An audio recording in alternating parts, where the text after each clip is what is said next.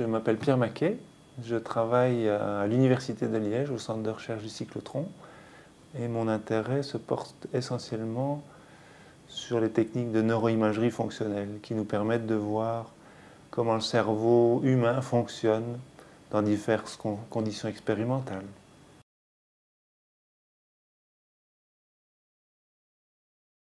La lumière a un effet extrêmement marqué sur le fonctionnement cérébral. On l'a d'abord démontré par des études en électroencéphalographie, en mesurant l'activité électrique du cerveau chez les sujets normaux. Et on a montré qu'effectivement, après une illumination en lumière blanche, les rythmes qu'on observe à l'éveil étaient plus exprimés que si on laissait les sujets à l'obscurité.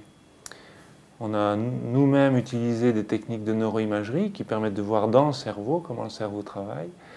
Et on a effectivement pu montrer que si on soumet des gens à une illumination de lumière blanche, une lumière assez forte, de 7000 lux, leur réponse cérébrale par après, des réponses à une tâche cognitive qui se faisait dans le noir, ces réponses étaient accrues par rapport à des sujets qui étaient laissés dans l'obscurité totale tout le temps.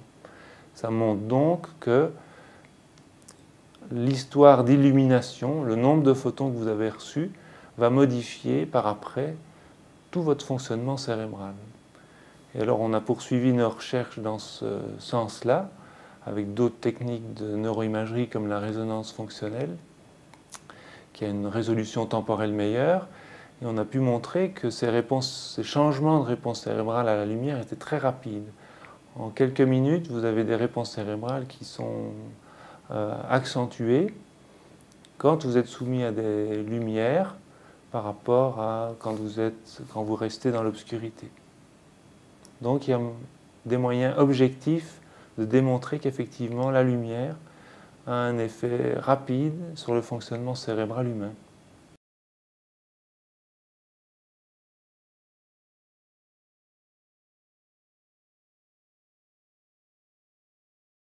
On sait chez l'animal en fait que toutes les lumières n'ont pas la même importance il semblerait que la lumière bleue en particulier soit plus efficace que le reste des lumières pour stimuler l'activité cérébrale.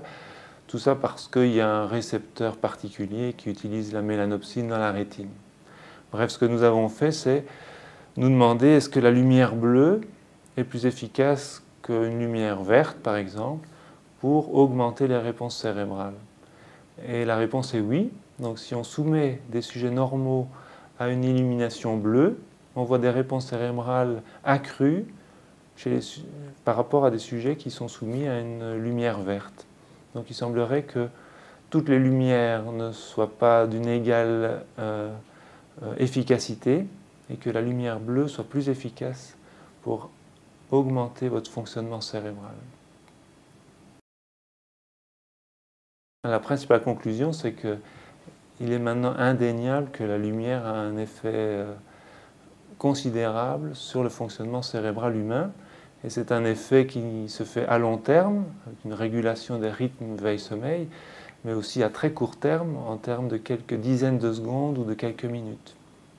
Et donc ça a évidemment des conséquences euh, immédiates, puisque notre environnement artificiel nous soumet à des niveaux de lumière souvent insuffisants. Donc on devrait vraisemblablement améliorer nos conditions d'illumination à la fois à domicile et dans nos conditions de travail.